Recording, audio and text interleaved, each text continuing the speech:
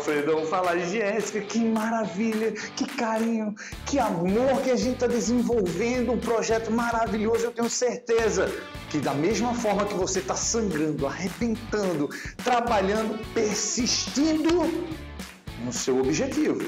O trabalho, a tra trajetória é longa, mas a gente está desenvolvendo redondo, está maravilhoso isso. Hoje a gente encerra organelas citoplasmáticas com o cloroplasto, beleza? E falar um pouquinho de fotossíntese, obviamente. Então segura na cadeira que o jalapada vai ser grande, viu, Bia? Chega de agressividade, tá bom? Hoje vai ter uns carinhozinhos, beleza?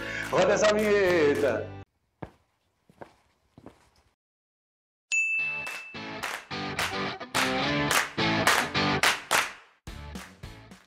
Bora, meu povo, vamos trabalhar. Então, hoje, para a gente encerrar, cloroplasto.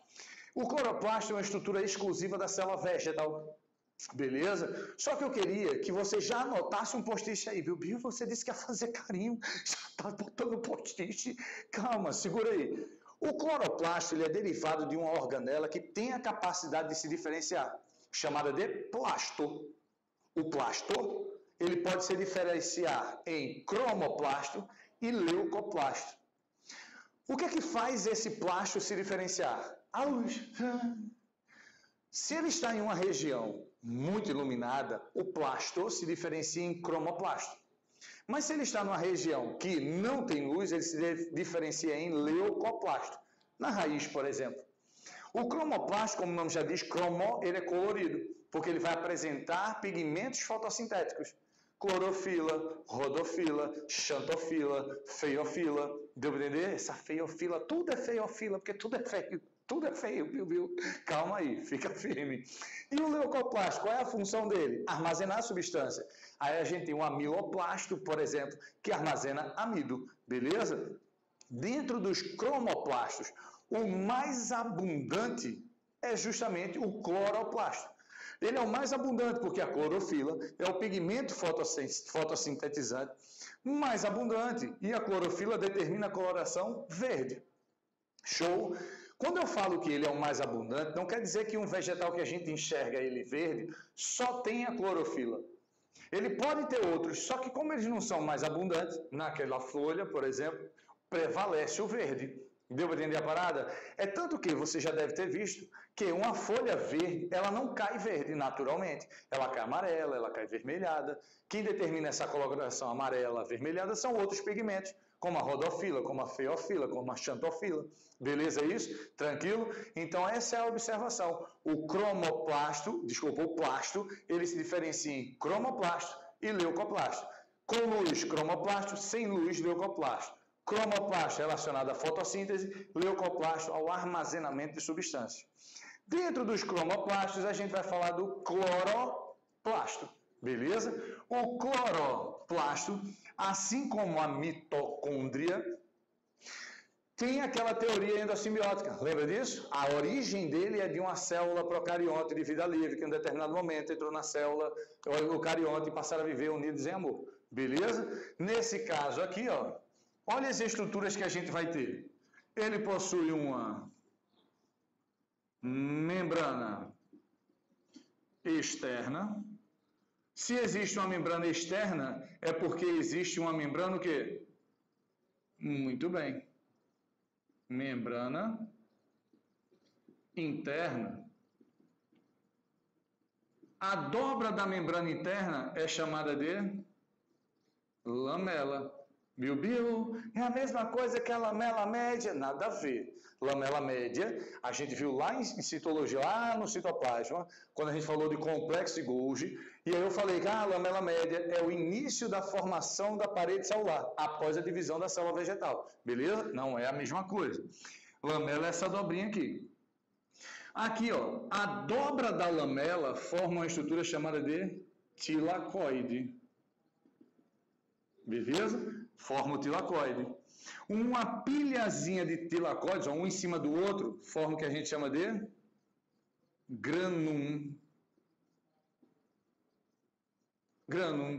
Várias pilhazinhas, grana. O espaço aqui dentro é chamado de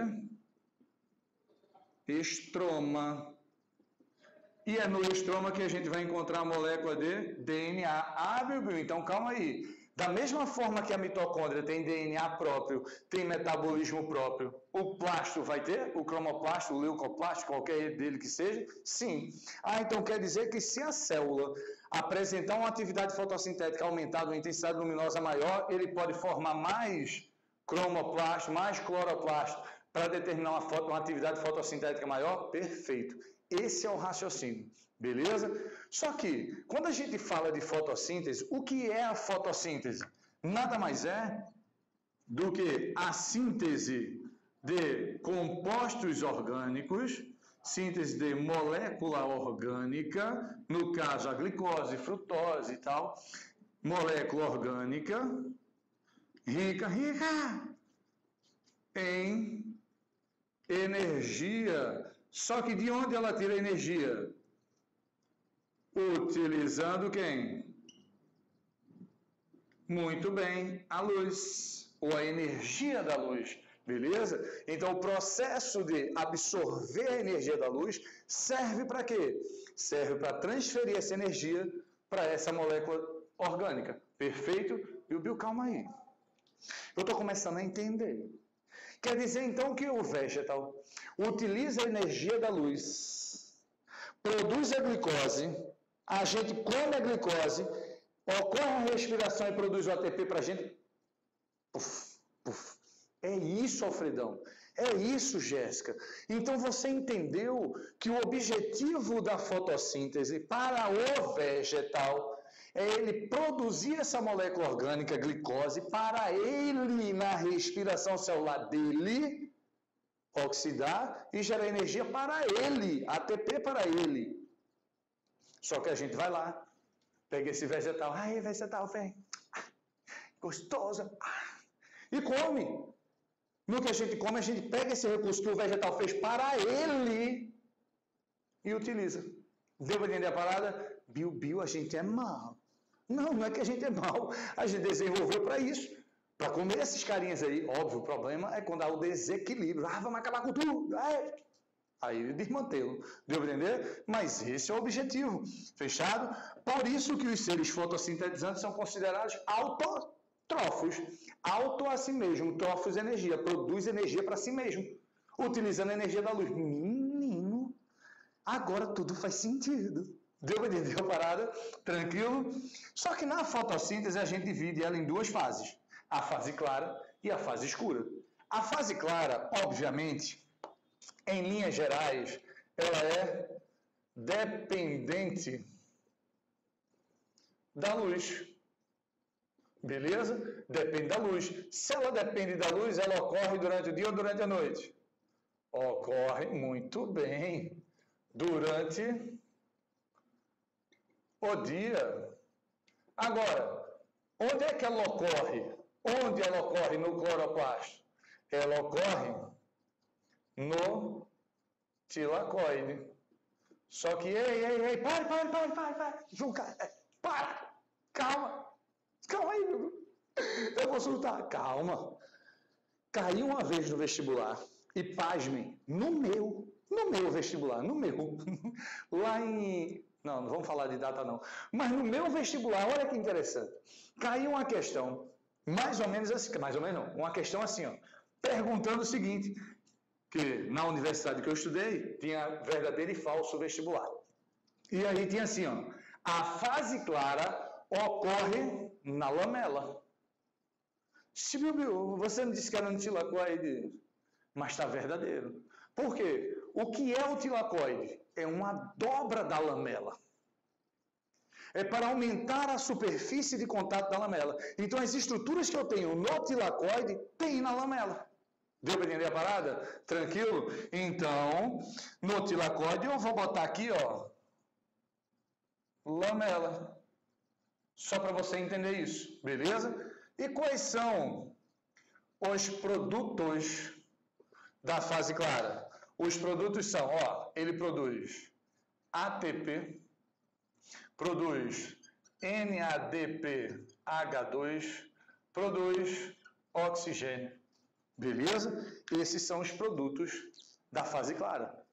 Ué, O oxigênio é produzido na fase clara? Perfeito. O oxigênio atmosférico que a planta libera, ele vai ser produzido na fase clara. E sai lá pelo estilo que a gente vai ver nas próximas aulas. Beleza? Então, esses são os produtos da fase clara. Bill, Bill, e a fase escura? A fase escura, ela não depende da luz. Beleza? Outra, ela ocorre durante o quê? Fala para mim. Pense.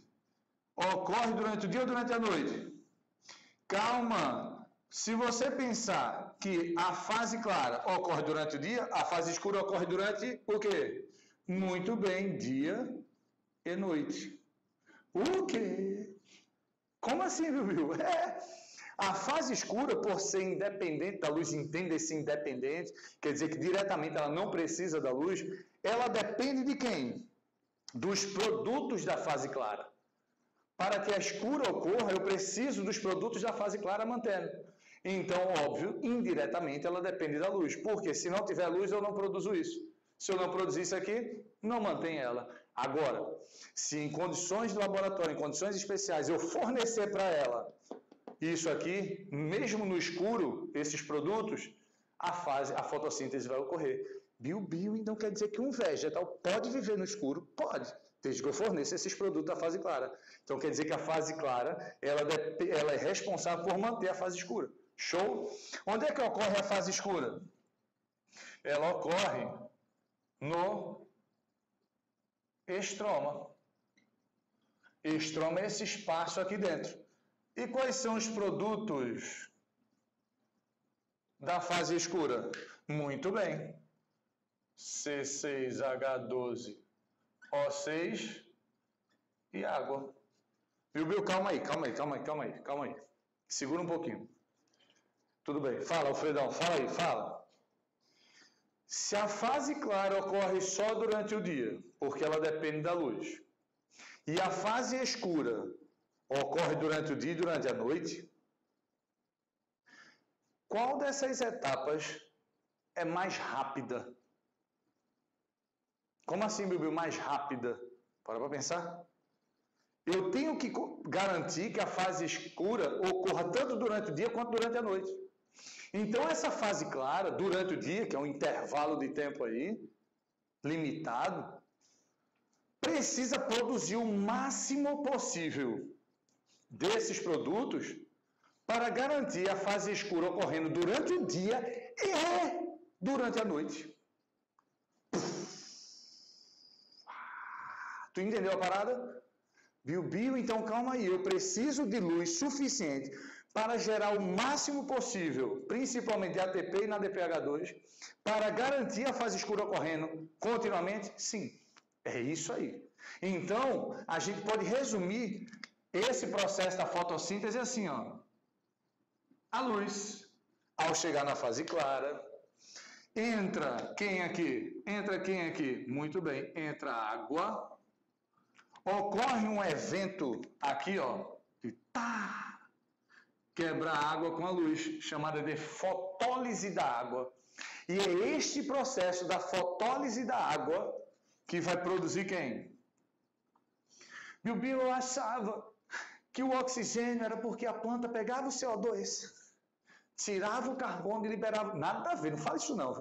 Não fala isso não. Que aí a gente eu rasgo o diploma, eu vou embora, porque eu não quero mais saber disso. Não faça isso não. Não faça isso não. Deu para entender?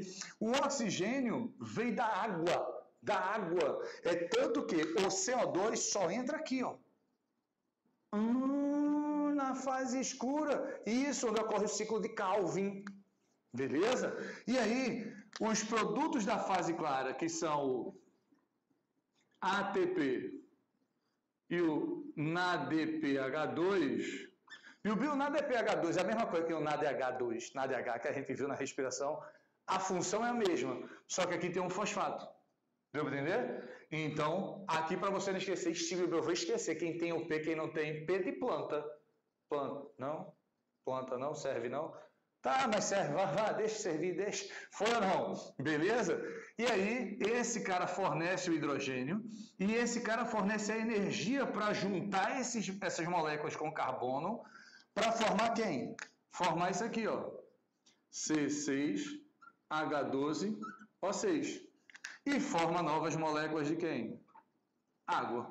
Foi ou não? Esse é o resumo master disso aí da, da fotossíntese, beleza? Só que calma aí, no começo da aula eu falei assim, peraí, o vegetal realiza a fotossíntese, produz a molécula de glicose, para quê? Para ele utilizar na respiração. Então agora a gente vai entender a influência da luz sobre a atividade fotossintética e a respiração. Como é que ocorre isso? Vamos pensar? A luz interfere na respiração? É? Você, quando vai para o sol, você fica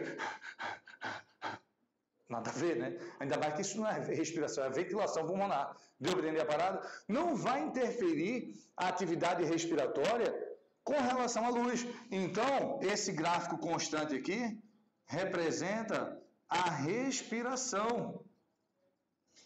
Deu para entender a parada?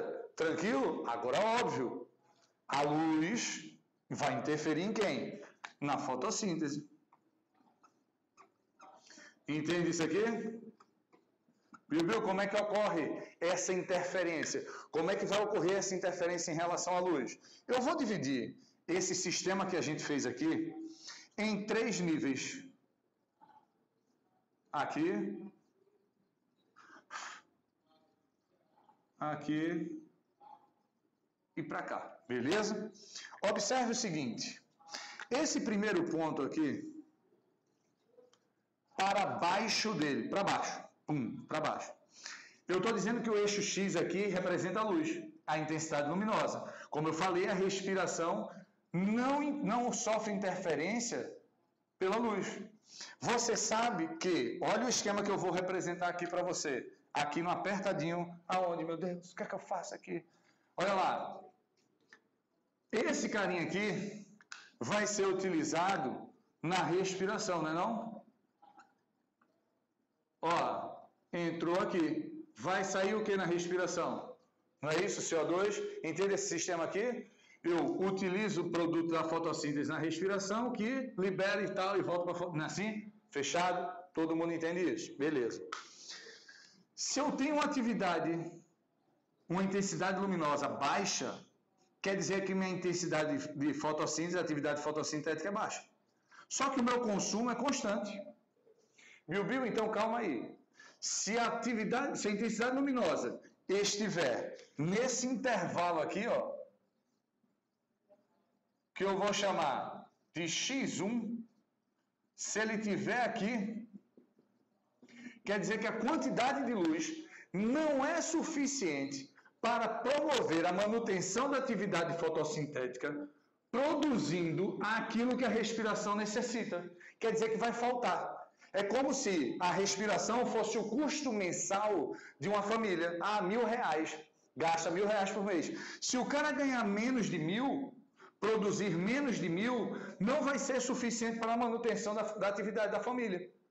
Nesse caso, eu estou dizendo que a quantidade de luz não é suficiente para produzir toda a glicose que a respiração necessita a partir da fotossíntese. E aí, ele vai morrer? Não. Se o vegetal encontrar-se aqui com atividade fotossintética abaixo do que eu preciso da respiração, ele começa a consumir a reserva. Ou a família vai ter que acionar a poupança. Tá entendendo a parada? Foi. Mas, meu Bill, e se ele tiver nesse ponto? Aqui, ó. A gente chama isso aqui, ó, de ponto de compensação fótica. O que é o ponto de compensação fótica? É quando a intensidade luminosa é o suficiente para manter uma atividade fotossintética, produzindo a glicose necessária para manter a respiração. Entende que um está compensando o outro, tudo que eu produzo na fotossíntese consome na respiração e vice-versa? Por isso que ponto de compensação fótica. Só que, calma aí, é bom o vegetal estar tá nessa situação? Não, está ali no limiar de. Tá maluco, vai acabar com a parada. Não pode. O que é que ele faz? O bom é o vegetal estar onde? Nesse intervalo aqui, ó. Por quê? Nesse intervalo a intensidade luminosa é maior do que o necessário. E aí eu consigo produzir reservas. Se eu consigo produzir reserva, eu posso ter energia suficiente para o quê? Crescer. Então, para o vegetal é melhor estar nesse ponto aqui. Beleza? Meu Bill, e se tiver rasgando de luz, toma toda a luz aí, o sol chega! Se tiver assim, chego no limite, que é o que a gente chama de ponto de saturação fótica. É o máximo de luz que eu posso tolerar. Na verdade, seria o mínimo de luz necessária para a manutenção da atividade fotossintética, o quê? Máxima. Então aqui, ó, fotossíntese máxima. Deu para entender a parada? Foi ou não? Passando disso aqui de luz, eu não consigo aumentar minha velocidade, porque eu já estou no meu máximo. Show de bola, galera. Tranquilo? Deu para entender isso, galera? Assunto maravilhoso. Agora é com você. Cai dentro da resolução de questões. Trabalhe isso firme para consolidar essas informações. Beleza? Tamo junto e até a próxima. Cheiro, tira o print aí. Valeu! Nossa maior fraqueza está em desistir. Por isso, mantenha-se firme, motivado e constante. A vitória é sua.